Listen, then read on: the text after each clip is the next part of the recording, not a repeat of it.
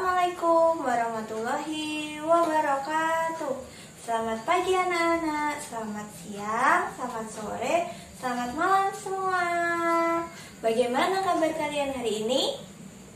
Alhamdulillah sehat kan? Ayo, tadi sudah sholat subuh belum? Alhamdulillah sudah kan? Nah, video kali ini Bu Naim akan melanjutkan menerangkan tentang mata pelajaran Teknologi Informasi dan Komunikasi bab 1. Kalian bisa membuka buku paket kalian, bukalah bab 1 yang berjudul Alat Komunikasi.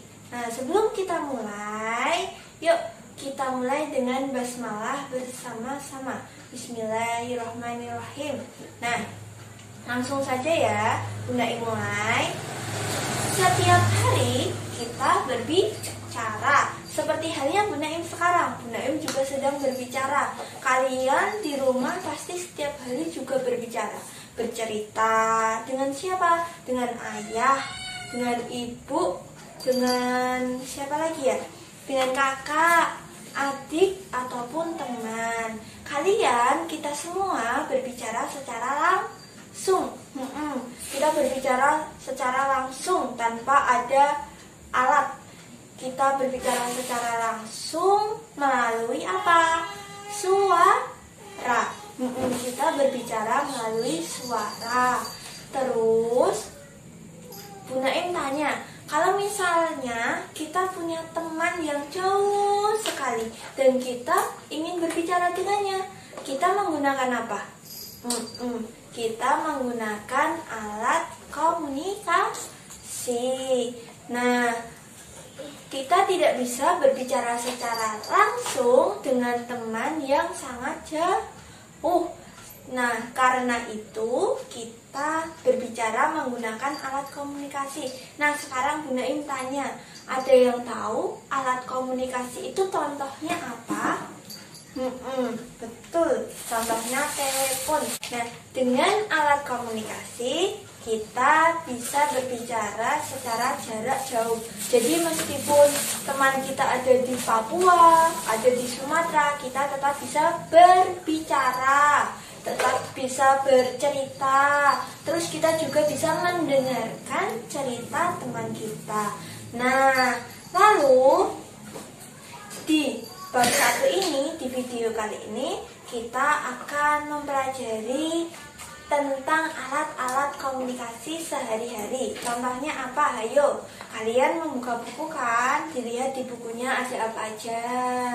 Nah, ada bel, telepon, terus ada televisi, ada apa lagi coba? Ada HP, radio, terus ada satu alat komunikasi pasti kalian senang banget kalau menggunakannya yaitu komputer. Hmm, hmm, komputer atau laptop. Nah tetapi untuk komputer dan laptop itu akan kita pelajari dalam video selanjutnya. Untuk kali ini Bu Naim akan membahas tentang bel.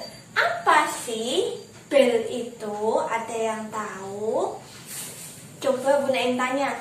Ada yang sudah pernah mendengar bel? Hmm, hmm. Kalian semua sudah pernah mendengar bel. Bel itu termasuk alat komunikasi. Bel merupakan contoh alat komunikasi. Kenapa? Karena bel adalah alat yang digunakan untuk memberi informasi berupa apa? Berupa bunyi atau berupa suara. Sebagai apa? Sebagai tanda. Contohkan misalnya Nah, pintu rumahnya Bima itu tertutup. Tetapi Zain, temannya Bima, datang ke rumahnya Bima tanpa harus tok tok tok. Bima, assalamualaikum, assalamualaikum. Nah, karena Bima di belakang, Bima nggak kedengaran suaranya Zain. Karena di dekat pintu itu terdapat bel, maka Zain menekan bel, ting tong ting tong. Nah, di dalam Bima mendengar ada suara bel. berarti Bima langsung berdiri, langsung datang ke pintu, langsung membukakan pintu untuk Zain. Nah, ini adalah fungsi bel, memudahkan, memudahkan tamu untuk istilahnya tidak perlu mengetuk pintu. Kalau mengetuk pintu orangnya di belakang rumah kan nggak kedengeran.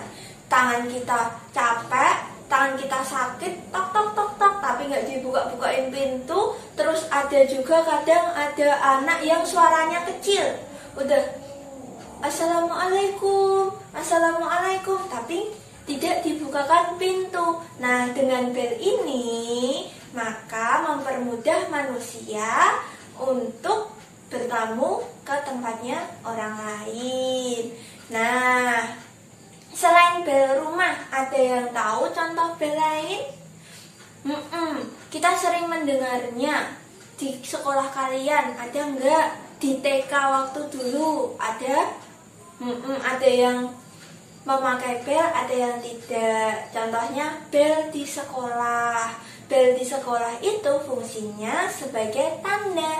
Misalnya kalau terdengar bel kring, kring, kring, ada tiga, tiga kali bel, belnya tiga kali. Berarti kalau di Al-Hadi bel tiga kali itu menandakan waktu untuk istirahat. Terus kalau kring cuma satu kali berarti itu tandanya pergantian jam pelajaran. Terus ada lagi bel yang paling ditunggu anak-anak semua yaitu bel empat kali. Kring kring kring kring empat kali kan? Itu tandanya bel bel tanda waktunya pulang atau kegiatan belajar mengajar hari itu selesai. Itu pasti senang banget kalau denger bel itu. Terus ada contoh lain? Selain bel rumah sama bel sekolah? Hmm, hmm, misalnya bel motor bel mobil. Terus ada bel-bel yang lain. Terus tadi jadi bisa dikatakan bel itu termasuk alat komunikasi yang berubah bunyi sebagai tanda. Contohnya tanda tanda ada tamu, tanda waktu istirahat. Contohnya seperti itu. Nah, cukup sekian Bu Naim membahas tentang bel. Untuk minggu depan kita akan belajar tentang telepon. Tapi untuk saat ini kita belajar bel dulu ya. Terus jangan sampai lupa untuk sholat fardu lima kali sehari, sholat sunnah, sholat duha. Terus ada lagi kalau misalnya diminta ayah sama ibu untuk murojaah, membaca surat-surat pendek, jangan sampai melawan loh ya. Pokoknya tetap semangat belajar terus, oke? Siap? Sip. Punya akhiri. Wassalamualaikum warahmatullahi wabarakatuh.